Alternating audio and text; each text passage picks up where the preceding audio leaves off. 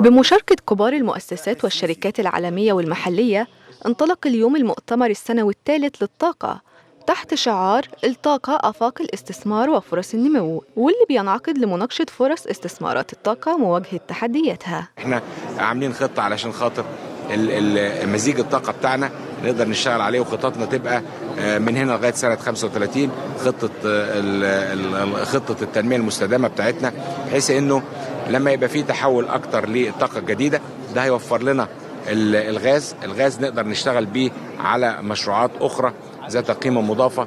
مثل الأسمدة مثل البتروكيماويات. فرصة طيبة قوي إن بيجتمع كل العاملين في قطاع الطاقة بصفة عامة سواء ككهرباء أو بترول بيجتمعوا مع بعض آه، بيشوفوا ال- إيه ال- ال- اللي حصل في الفترة الماضية وأيضا آه، المستقبل هيبقى آه، واعد إزاي إن شاء الله في هذا الأمر. كل هذه الاستثمارات تعكس في الحياة.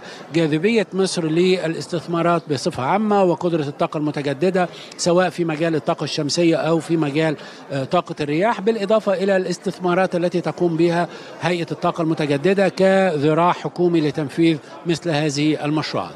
تأهيل الشباب وتمكينهم كان من أهم أدوات التطوير في الوزارات المسؤولة عن طاقة مصر من خلال تحفيزهم ودعمهم بكل شكل ممكن. قطاع البترول من أقوى القطاعات اللي بتعمل الشراكات مع القطاع الخاص لأن القطاع الخاص بيزود ال- القطاع العام وبيساعده في التكنولوجيات الحديثة في قطاع البترول وفي الحفر وفي الإمكانيات الفنية. قطاع الطاقة في مصر آه، لديه آفاق واعدة جدا. آه، فعلا كانت هناك مجهود كان هناك مجهود كبير آه، تم في خلال السنوات الأخيرة. تع- تحولت مصر كما نلاحظ من دولة عاجزة في مستوى الطاقة إلى دولة مصدرة. المشاركة المحلية والعربية والعالمية بتسري فعاليات المؤتمر.